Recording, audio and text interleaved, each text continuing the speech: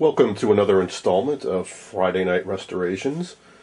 This time out, I'm going to be taking a look at an Admiral radio, I believe from the mid 50s. It is a model 5R37 with the 5R3 chassis. All American 5, meaning there are five tubes with the filaments wired in series and there is no transformer. I have not worked on a radio like this before, so I'm not quite sure what to expect inside. I have not located service info for it yet. Because before I do that, I want to take a look inside to make sure that it's restorable at all. You know, something like the speakers missing or horribly damaged or there's some other major issues inside, then uh, most likely that would be the end of the project. This is not a particularly valuable radio, so I wouldn't want to spend a whole lot of time, effort, or money restoring it. Nonetheless, I think it'll be an interesting little project.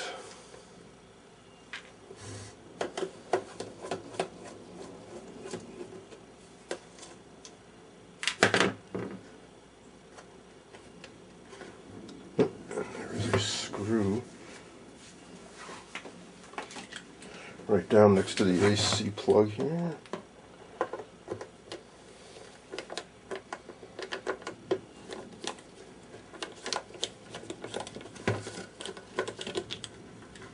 Okay.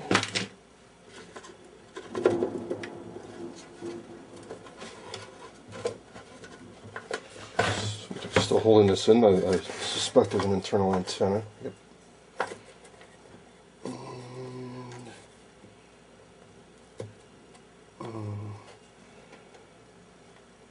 I think there are plugs on this, it's just that it's so it's stuck on there so long. Get out. Let's see, cord. There we go. Alright, well, there's not a whole lot to it.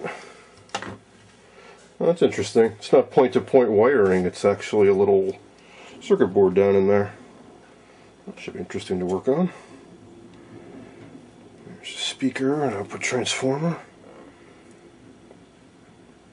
Yeah, it looks to be in pretty good condition.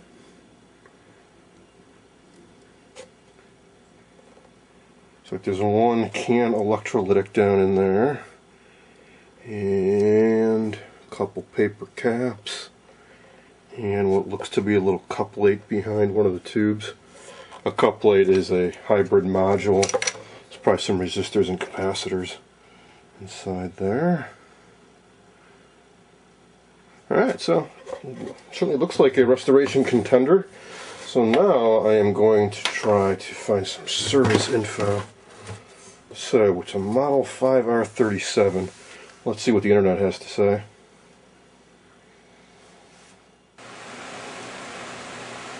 The first place I generally go to when I'm looking for schematics is a website called nostalgiaair.org.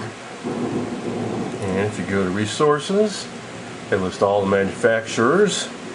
Here's Admiral. And I do not see it. We're looking for the 5R3 chassis. And we've got FR, 5R10 through 5R14. Now sometimes these are close enough, so let's take a look at 5R10.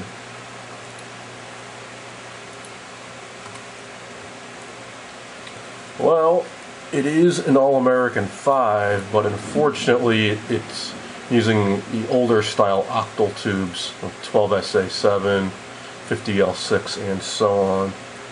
So that's not right.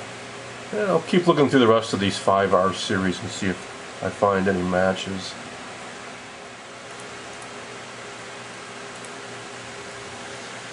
Well, unfortunately, none of those match. So now let's do the obvious thing. Let's just search Google for Admiral 5R37 schematic and see what we come up with.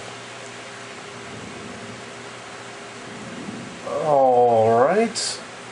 Well, so I see there's a lot of links if I want to buy the service info. And here's a link to radiomuseum.org, which I am not a member of because it's a rather complicated process that I just don't want to deal with. So I can see a picture of it, and I can I'm teased with the schematic, but that's all I get. Unless I decide to join. When you click on it, you get this mess. But at least we get some info here. Uh, let's see, it says year 1954-55, so definitely mid-50s. AC-DC set, so it could run off of DC if you happen to have 117 volts DC available. Uh, they say down here it is in Sam's Photofact. Uh, they also mention it's in Beitman. Now I do have some of the Beitman service manuals, but I don't have the radio ones uh, from the 50s, so keep searching. Alright, and get it from Sam's. You know, you've probably seen a lot of guys selling Sam's service info on eBay. But you know, Sam's is still around, and you can buy the service info from them directly. I think what happened is the copyrights have expired on their older publications. So all those guys on eBay are doing is they got a copy of it, and they're just making photocopies, or they scanned it and burned it onto a CD. So when I do need to buy them, I buy them right from Sam's. I mean, why not? They created them, so why not reward their efforts and help them stay in business? So I could order it from them for 15 bucks.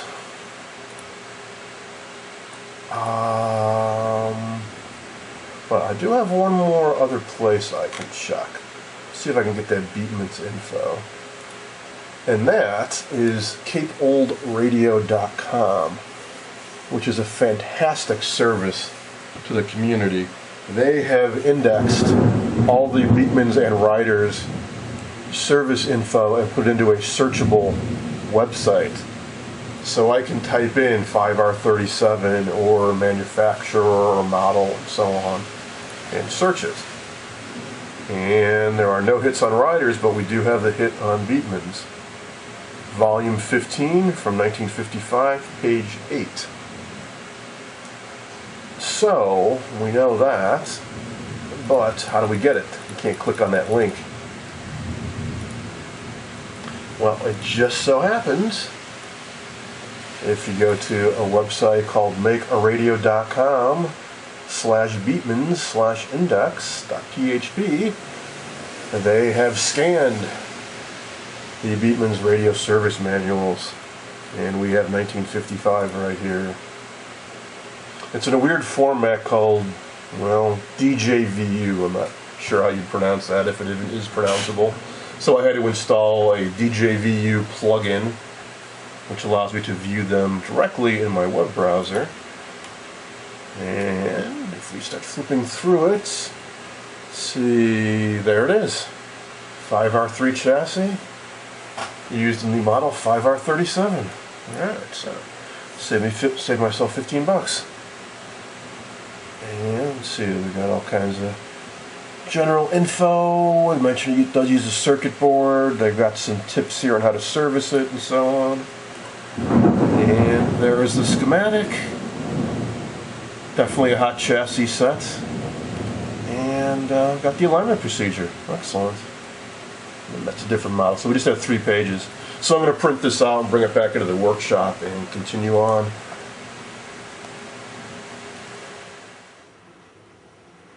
Here's a closer look at that schematic. See AC cord, and see there's a power switch. One side goes to the series wired tube filament, and the other goes right to the chassis. So, definitely dangerous. Definitely want to use an isolation transformer while working on this. There's a rectifier and two electrolytics, a 50 and a 30 microfarad. I'll throw in a 47 and a 33 microfarad cap. That's close enough. See, then there's a .047. It's probably a paper cap that needs to be replaced. 0.05, 0.01, and so on. Once I pull the circuit board out, I'll, double check those values. And see the tube lineup 12 BE6, 12 BA6, 12AV6, 50C5, and 35W4. Very common tubes. I've got spares on hand if needed. And uh, other thing of note is that box with the dashed lines. That's that thing I referred to as a couplate earlier. See, all those resistors and capacitors are inside that ceramic package and may need to be replaced. In fact, they give you a little tip down there if you do need to replace that with discrete components. There's a recommendation for capacitor values to use. Now, fortunately, I will be able to measure these resistors embedded inside there. So if you look close, we got a 6.8 meg resistor. It's going to the external pin 1, and then if you follow it around, it goes to pin 4. R6 goes from pin 6 to uh, pin 7, and R7 is between pins 5 and pin 4. So if I measure resistance between those points, those are the values I should get. If those are really far off, I will have to fabricate something with discrete components, but I've had pretty good luck with these in that uh, I've never actually had to fabricate one from scratch. They've always been working well enough. And uh, my biggest fear really is these guys because they don't give you the values for those capacitors. These are the IF cans. And you may have heard that quite often in these radios those caps go bad because they're just made from uh, some sheets of metal with a sliver of mica in between and those can deteriorate over time. But let's not worry about that right now. Next up I want to get this thing out. It looks kind of like the circuit board is just it just slides in in this channel but it's not, not moving. Guess I better pull the knobs off the front one.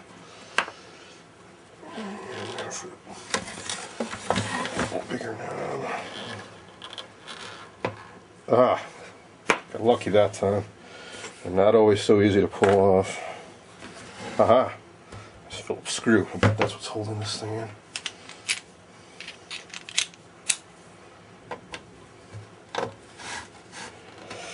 So I'm gonna get this working. I will uh, give this cabinet a good cleaning. Let's definitely get some gunk on it.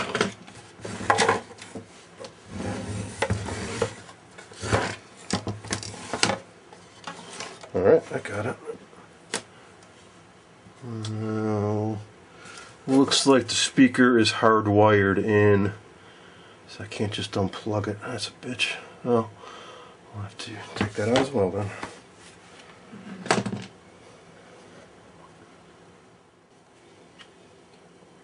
Okay, I just had to take out two screws holding the speaker in place and I was able to extricate the whole thing now. So before I damage any of this stuff, I'm going to unsolder the antenna and the speaker and set those aside and then focus on this little circuit board here. That's better. Much easier to work on now. Be careful when you work with early printed circuit boards like this. These traces lift off very easily. So I've got my variable wattage soldering iron turned down to about half the normal power level that I use. And I uh, use some solder wick, also have a solder sucker, and I have some flush diagonal cutters. Very handy so you can get right in there and nip leads off. I also pulled all the tubes out and I've noticed that some of these tube sockets are a bit loose. So something else that happens is, uh, see, it some looks even a little charred around here. So these tubes, you know, over the years, they get hot and it uh, starts to affect the circuit board. Some, and also, if people replace tubes and these sockets get wiggled, uh, you can get cold solder joints. I'm going to go around and just lightly touch up all these solder connections. Now, as for recapping, actually, uh, it's not a whole lot to do because some of these caps are ceramic and very, very likely that they're still good.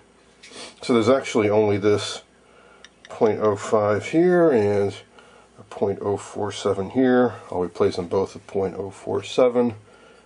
None the electrolytic.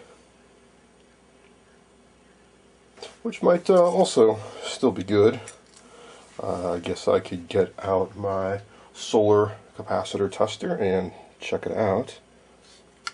But even if it is good, I would just as soon replace it anyways while I got this thing taken apart. These things don't last forever and eventually it will go bad, so why not?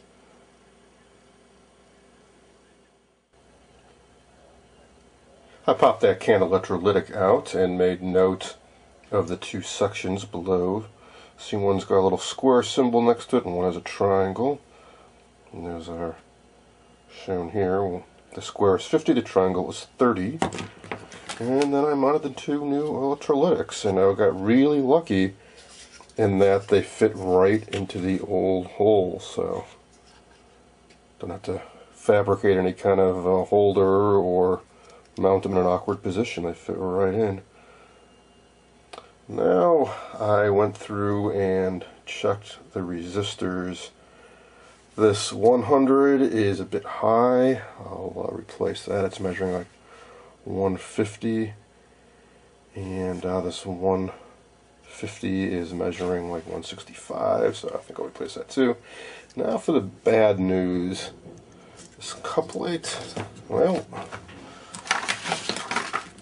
it's pretty far off. I'm still going to try running the radio with it in, but unfortunately uh, they're pretty off. So that one should be 6.8 meg between pins 1 and 3.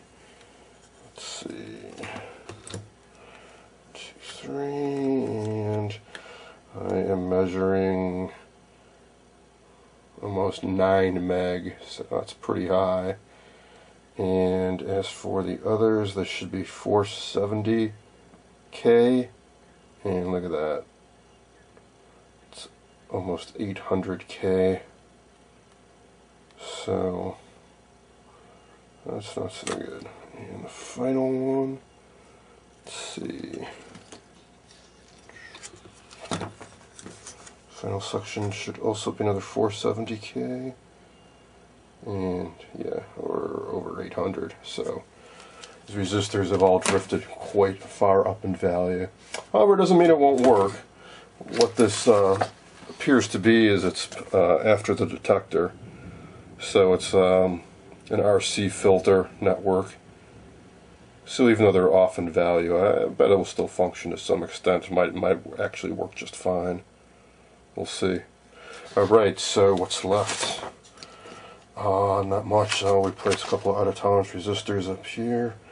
I'll clean and lubricate the tuning cap. I'm going to wash all this flux crud off the uh, board there.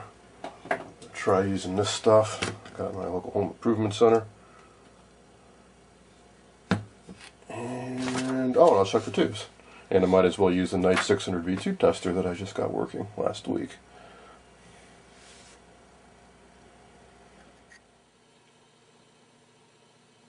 I finished testing all the tubes and they all test okay, so I reinstalled them along with the one shield. I have the radio plugged in to a 60 watt bulb in series and then it's going to a Variac um, isolated from the line voltage and if there are any shorts or any problems here, that 60 watt bulb should save this from any problems. When I turn this on, that bulb should light up bright because these filaments are cold, which means they have less resistance. As they heat up, the resistance on these increases. The current draw should drop and that bulb should dim down. And at some point, if everything is working more or less, we should hear some sound. Here goes. Alright, it's a good sign. Bulb lit up and then dimmed down.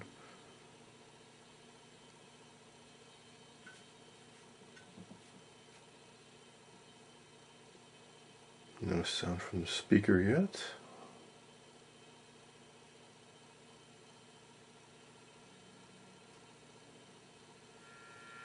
Alright, we got a buzz.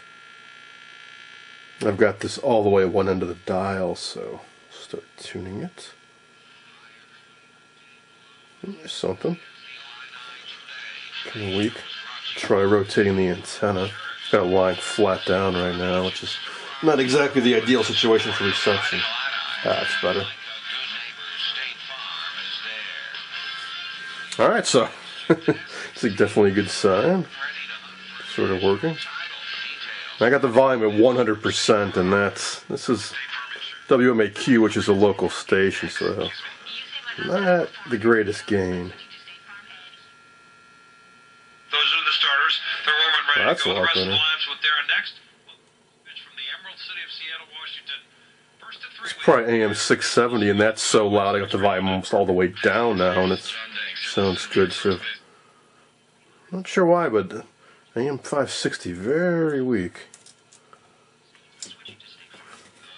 Manipulating the antenna is helping a little bit, but not too much. No, I'll just keep going through the dial. All right, happy drivers. On sound.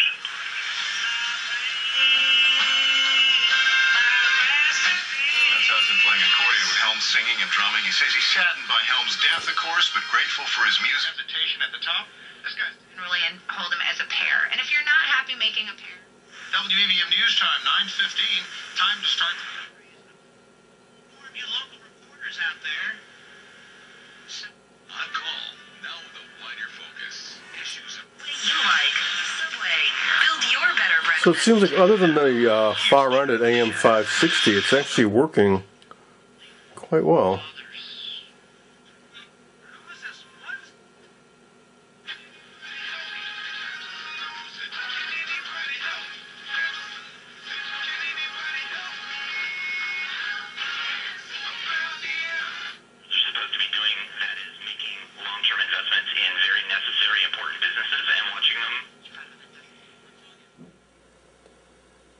Alright, now that the radio is pretty much working, I'm going to move on to the cabinet, which is rather dirty. I'm going to use some mild dish detergent and a sponge and clean this up as best I can. It appears this is black uh, plastic and it's painted white, so I don't want to use anything too aggressive on this. So I'll do a basic wash down and then see how it looks. And then I might try some Novus number two, but I can't get too aggressive with buffing this out or I will wear through the paint.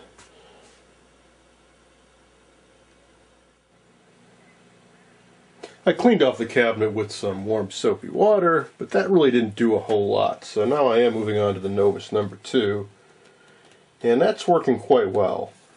I've already done this section right up here, and now I'm moving on to the rest of the top. It's actually working better than I was expecting. Now, there are definitely some areas where it's worn down to the underlying plastic, like along this side here. But uh, otherwise, it's really a lot more respectable looking now. We just get this one section out here pretty happy with it. I'm not sure I'm going to be able to. Let's see.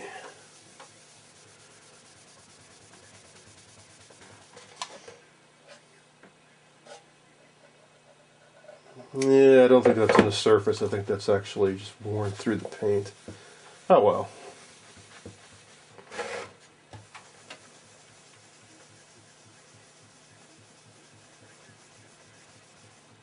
Yeah, maybe not. Well, I spoke too soon. A little more rubbing here.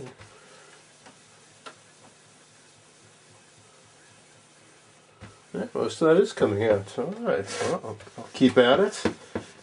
And this will come out looking a heck of a lot better than it did before I started. years I've had a chance to talk to you about our goals. The Novus number two did a nice job of cleaning off all the blemishes, other than the paint chips, of course. Those aren't going to come back. And finally, I went over it with some cleaner wax. And I also soaked the knobs in a bit of detergent, and that cleaned out the gunk pretty good. So here it is, playing fairly well. So that concludes another Friday Night Restoration video. I hope you guys enjoyed this look at an Admiral 5R37 radio from the mid 50s. With more than 25,000 cars sold and counting, Muller's Woodfield Acura always has the best price, selection,